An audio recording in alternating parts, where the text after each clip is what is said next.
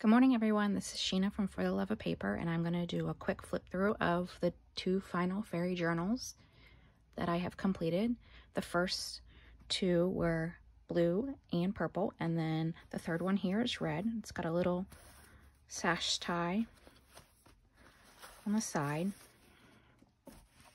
It's got the fabric ruffle, there's some lace on the side to cover the binding and it's just a sweet little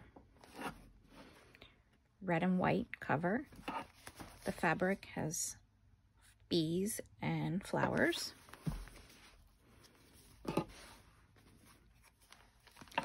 Inside, there's a pocket. Um, I did, I couldn't help myself. I did ink some of the um, ephemera journal cards in this one just because it's red and I felt it needed it. So similar elements. This one I did a little bit different, um, but some elements are similar. This has a flip out page. This is some vintage wallpaper here. There's a pocket, tags, more pieces of ephemera, some writing space. This has pocket with some journaling pieces writing space, more writing space. Brilliant vellum. Here's more um, ephemera pieces to use as journaling cards with the pocket. Here's a little belly band with a journaling card underneath. This flips out. Plenty of journaling space another pocket piece. This flips out as well. This is a little envelope pocket, so there's journaling cards in there. This is the center. It's a one signature journal. Here's the other half with some journaling cards in it as well fabric flip.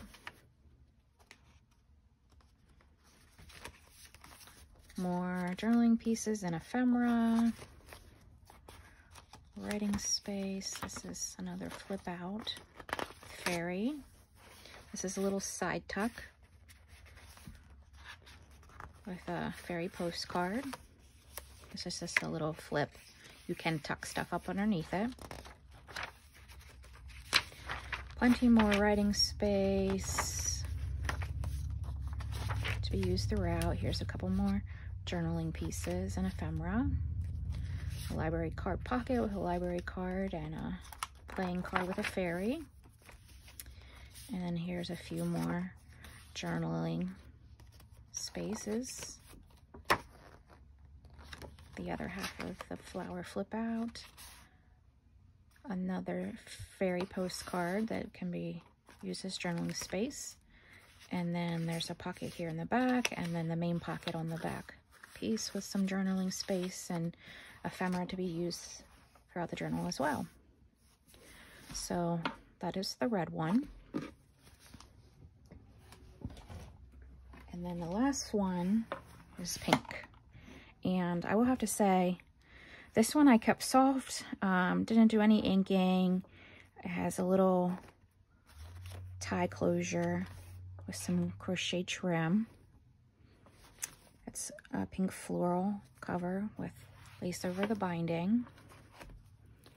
I found a new way of doing the sewing and I prefer this method much better. So I didn't put any pockets because this looks pretty seamless. You could add pockets if you wanted.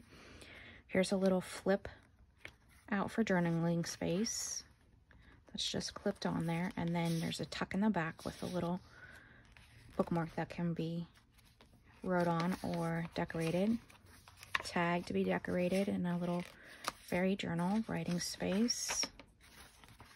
Around this is also a flower flip. There's a little fussy cut fairy. This is a pocket with two pieces in. Another little pocket.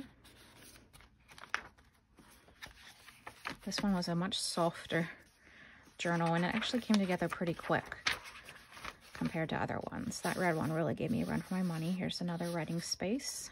This is a little um, glassine bag. It's tucked into. Here's a pocket with some a tag that can be decorated or wrote on and also a journaling card.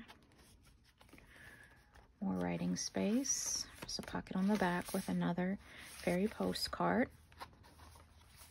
Plenty of writing space in this one. Here's a library pocket. This just has a little piece of um, butterfly scrapbook paper on it. This has got journaling space. This is some vintage or older um, wrapping paper. And because it's weak, I put a little, um, or thin, not necessarily weak, but then I put some journaling space on it. This is the center of the signature. Same on the back side. Here's a little, um, I guess they're really kiss cut, um, fairy. There's a little flip there. This is the belly band and there's a journaling card underneath. Another little pocket. I put a little fairy piece in there that you could use throughout as well. Um, writing space, more tags. This is a little pocket with a little um, card catalog, more fairy notes. This is the fabric flip. And this one, plenty of writing space. Here's another little pocket with a tag that you can write on. Pocket here, this is a daily schedule and a to-do list little sheets. And then there's more writing space coming to the back.